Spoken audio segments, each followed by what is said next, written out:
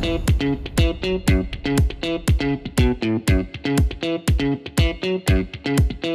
อาละทุกคนครับวันนี้ผมอยู่ที่งาน EM Revolution in Motion 2024 ครับ วันนี้เป็นการแถลงนโยบายใหญ่ของ EM Motor ครับ ผู้ผลิตรถจักรยานยนต์ไฟฟ้าเจ้าดังของเมืองไทยฮะ เดี๋ยวเราไปชมบรรยากาศงานนี้ว่ามีอะไรน่าสนใจบ้าง บอกเลยว่าห้ามพลาดนะ เพราะว่าเขามีกระซิบบอกว่าเปิดตัวจักรยานยนต์ไฟฟ้ารุ่นใหม่ด้วยฮะ เดี๋ยวไปดูกันเลยครับผม ไปเลย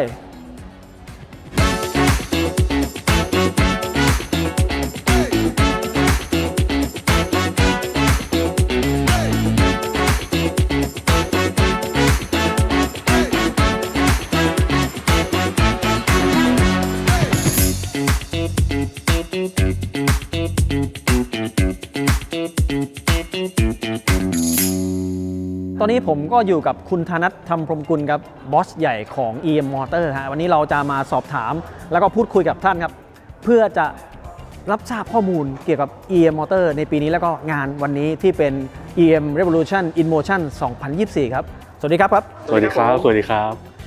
งานวันนี้นี่จัดขึ้นมาเนี่ยมีวัตถุประสงค์ยังไงบ้างครับคุณสันครับก็มีจุดประสงค์สองละสองเรื่องเป็นหลักๆนะครับก็ Revolution in Motion เนี่ยก็เราอยากจะตั้งเป้าว่าเราจะปฏิวัติตัววงการมอเตอร์ไซค์ไฟฟ้าไทย เราอยากยกระดับตัว EM แบรนด์ขึ้นมา เพื่อให้ทัดเทียมเป็นผู้นำแล้วก็เตรียมพร้อมที่จะเป็นก้าวเป็นเบอร์หนึ่ง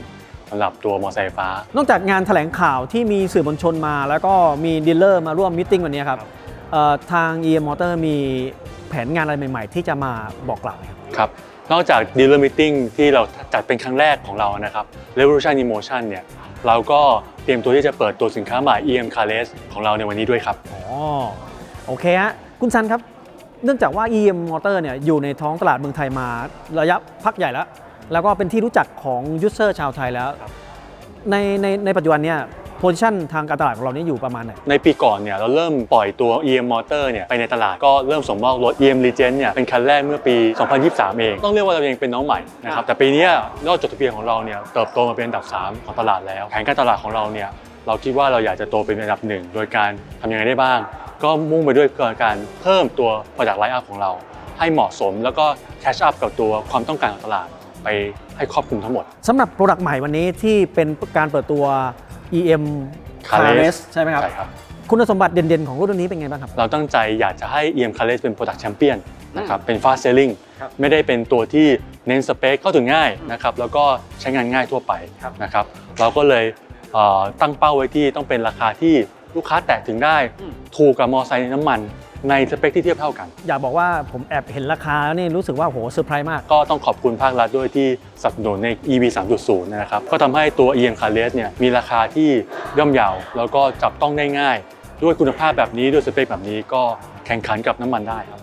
เพิ่มเติมข้อสุดท้ายก็คือเรื่องของระบบการรับประกัน และก็หลังการขายของ EM Motor ครับเรารับประกันกล่อง controller กับแบตเตอรี่นะครับ3ปีหรือ 20,000 กิโลเมตรนะครับในส่วนของมอเตอร์เรารับประกัน 5 ปีหรือ 30,000 กิโลเมตรนะครับอยากจะเน้นนิดนึงว่าแบตเตอรี่เนี่ยเราแพ็คเองที่เมืองไทยนะครับเรามีโรงงานแพ็คแบตเตอรี่ของเราเองนะครับแพ็คแบตเตอรี่เอง แล้วก็ได้รับมาตรฐานมอก แล้วก็ UN R136 ของขนส่งแล้วเรียบร้อย เป็นเจ้าแรกในประเทศไทย ผมอยากบอกว่าคลิปนี้ก็จะเป็นอีกครั้งหนึ่งที่เราได้ร่วมงานกับทาง EM Motor แล้วก็แอบไปลองขี่มาแล้วด้วยสำหรับ QAREZ ครับบอกเลยว่าด้วยราคา 38,000นิดๆนะครับกับสมรรถนะที่ได้เนี่ยคุ้มมากๆ น่าเล่นมากๆครับผม อยากให้ไปลองกันดูครับ ครับผมอ่าสำหรับวันนี้ก็ต้องขอบคุณคุณซันมากๆครับ ครับ ขอบคุณมากครับ ขอบคุณมากครับ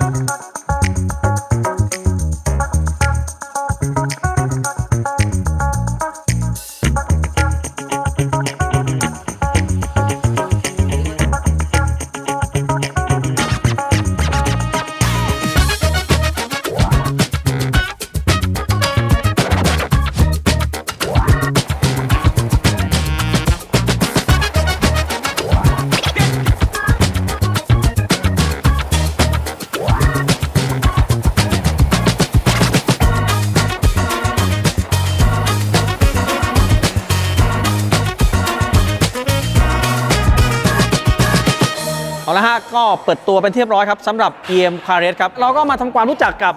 EM c a r r e t กันครับ เพราะว่าเรามีโอกาสนำไปลองขับขี่เป็นที่เรียบร้อยแล้วก็มีหลายจุดที่ผมชื่นชอบเลยครับ อย่างที่มีการเปิดตัวเป็นที่เรียบร้อย ตรงเวทีครับที่ผู้บริหารของ EM Motor เนี่ยได้แถลงต่อสื่อมวลชนและก็ dealer ฮะ EM QAREZ ครับเป็นรถที่ออกแบบมาตอบโจทย์การใช้งานของวัยรุ่นเลยฮะมีความเล็กกระทัดรัดแล้วครับแล้วก็ใช้มอเตอร์เป็นขนาดถึง 2,000 วัตต์ หรือว่าประมาณเครื่องยนต์ 100 cc นั่นเองครับแบตเตอรี่เนี่ย 72 โวลต์ 24 amp hour เป็นแบตเตอรี่ลิเธียมไอออนที่ได้รับมาตรฐานมอกด้วย แล้วก็ทาง EM Motor เขาผลิตเองด้วยเรียกว่าครบวงจรเลยครับเมื่อกี้ไปลองมาแล้วนะครับอย่างแรกเลยผมพบว่าคันเร่งของ EM QAREZ เนี่ย เป็นคันเร่งที่ smooth นะฮะใกล้เคียงกับรถน้ำมันเลยนะ รถคันนี้เมื่อชาร์จเต็มแล้วเนี่ย ก็สามารถวิ่งได้ระยะทางถึงประมาณ 70 กิโลเมตรเลยนะครับ แล้วก็ความเร็ว speed ก็อยู่ที่ 60 ถึง 70 กิโลเมตรต่อชั่วโมงครับ ใช้งานในเมืองได้ work มาก แต่ไม่ใช่แค่นั้นนะ เมื่อกี้เราลองออกไปขี่ถนน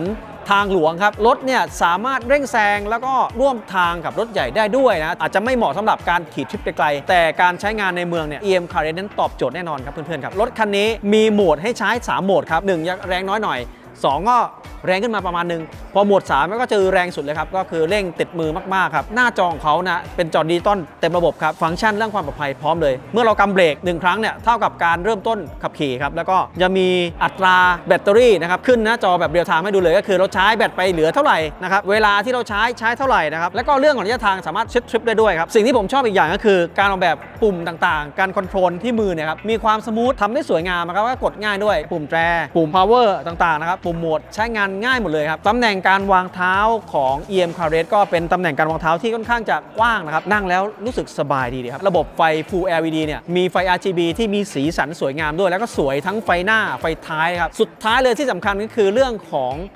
รถรุ่นนี้สามารถจดทะเบียนได้ครับส่วนเรื่องการรับประกันครับ ก็รับประกันมอเตอร์ 5 ปีเลยครับ แล้วก็รับประกันแบตเตอรี่หรือ controller เนี่ย3ปี ระบบไฟฟ้านะครับ รับประกัน 1 ปีครับ แล้วก็ทุกๆ part ทุก ๆ ชิ้นส่วนสามารถเบิกอะไรได้จาก EM Motor เนื่องจากว่าโรงงานนี้อยู่ในประเทศไทยครับ เป็นของคนไทยนั่นเองครับ ด้วยความที่ EM Bike นะครับเขาได้รับการสนับสนุนจากภาครัฐเรื่องของ EV 3.0ทำให้